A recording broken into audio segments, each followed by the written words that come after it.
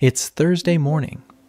With the week's crises resolved, Sarah has a rare moment to work proactively. Instead of fighting fires, she's looking at the team's backlog, the lingering technical debt that slows everyone down. Two tasks stand out a massive 2 gigabyte Docker image that's costly and slow, and a long overdue task to improve their infrastructure's security posture.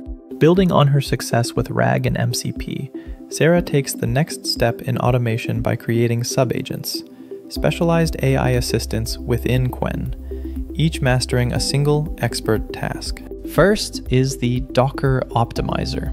This agent encapsulates best practices for multi-stage builds to automatically shrink bloated container images and enhance their security.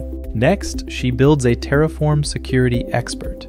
It proactively scans infrastructure as code for vulnerabilities like public security groups and missing encryption, ensuring compliance before deployment. Her goal is to eliminate manual bottlenecks.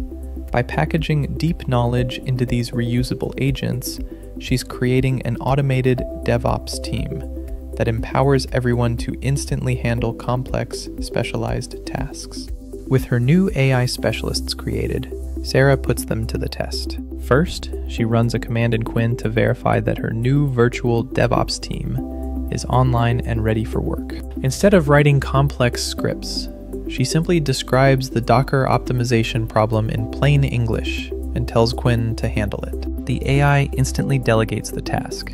The Docker Optimizer agent analyzes the files, writes a new optimized Docker file, builds the image, and verifies the result, all automatically.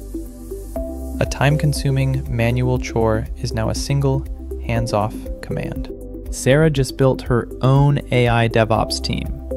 Now it's your turn. Step into the Day4 lab and build your own virtual DevOps team.